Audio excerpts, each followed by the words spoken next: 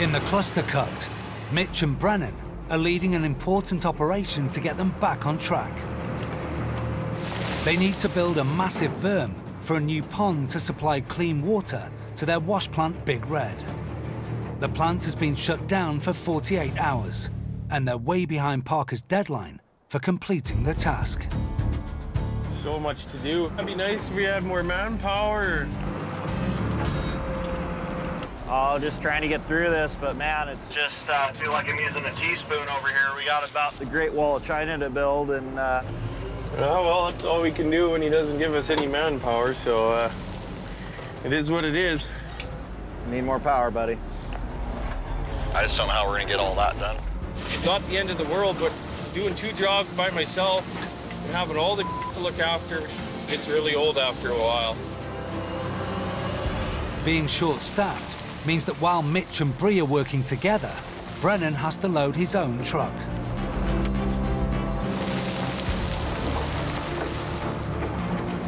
Definitely wiped out by the time the uh, 12th hour strikes, that's for sure.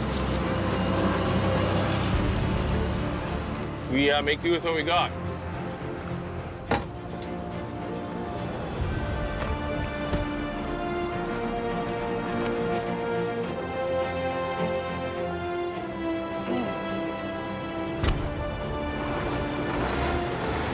I guess for all those people that say uh, men can't multitask, I'd be proving them wrong today. Seeing how we're understaffed, I'm uh, self-loading, trying to get both these jobs done at once. Parker's getting his money's worth. You know, I'm doing two jobs and it's only costing him one of me. We'll try our goddamn hardest, show them that we can overcome these obstacles. Hopefully, everything should go pretty smoothly. Hopefully, key word. You know, it's nice that Parker gave Brennan and myself the opportunity to step up and, and uh, you know, try and line things out here. You know, the biggest problem we're running into this year is just, uh, you know, manpower like we always are. People leave and, and uh, you know, it just makes it harder and harder to get anything done. If you want to get something done faster, you either need more manpower or more horsepower. And, you know, I'm looking at the amount of berm that I have to build here, and I'm probably going to be a day short of having this thing done in time. A problem with Brennan's rock truck has forced him to abandon it and do the long walk back to the yard. That breaking down is not helping out our cause here. I've already got enough to do, so it's just a pain in the ass that uh, stupid little things like this keep happening right in the middle of getting these berms up. Luckily, we have a spare truck, but I'm gonna get in this truck and hopefully I can make the day on it.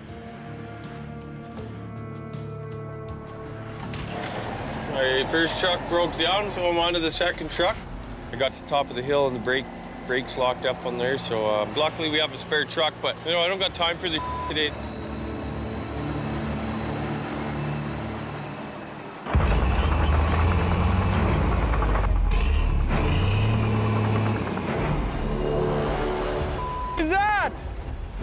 Holy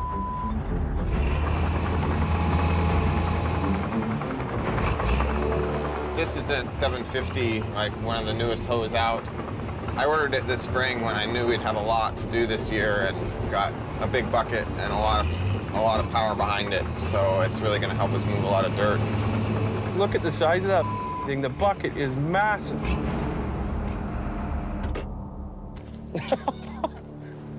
It's big. Holy Christ. That's insane.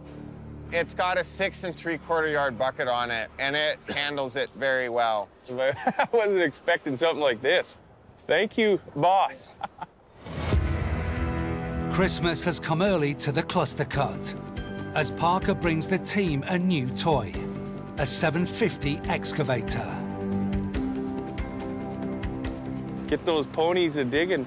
If I see dented panels or scratch paint, Going home? you don't get to you don't get to go home. We're just going straight to the lashings. yeah, I mean, I had it on order. I didn't think it'd show up this soon, but it's a pretty pleasant surprise. Woo! All right, thanks, guys. yeah, thank you. Thank you, man. Sweet. Check her out, Mitt. Well, he did his part. We better do ours, man. We got a lot of dirt to move here, so let's go see how it digs. Okay, sounds good. We're gonna put Brennan on that end with the 750, I'm gonna keep chewing away down here with the 480, but uh, I got a feeling he's gonna be catching on me pretty fast. I think old Mitchy's gonna have to wait. I've been loading trucks and running excavators for five years here, so I think it was my time to uh, take this new baby for a spin. Brennan's new excavator bucket holds up to eight and a half tons of dirt, heavier than a Tyrannosaurus Rex.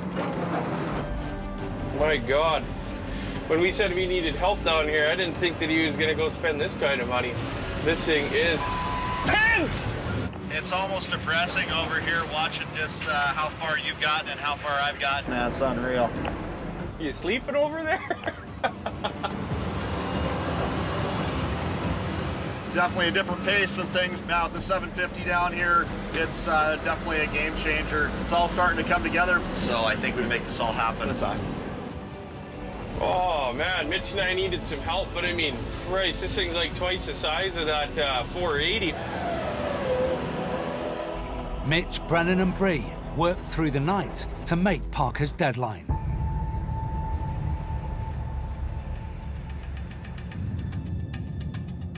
Burn pond is done. well we finally got our new pond walls done so now it's just a matter of getting some water in there we're gonna start filling it up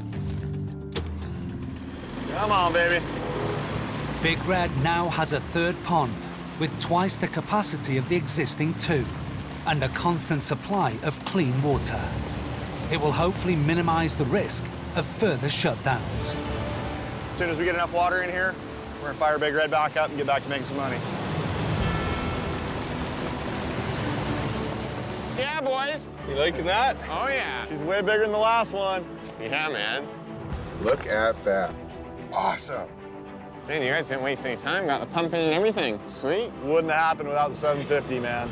You could have hired five more people and it wouldn't make up for what that 750 can do. It's unbelievable. It's unreal hoe, huh? Oh, Oh man.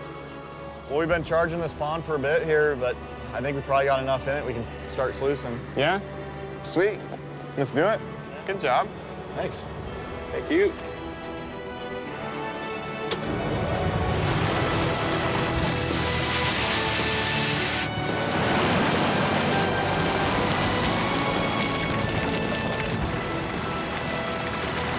That's more like it.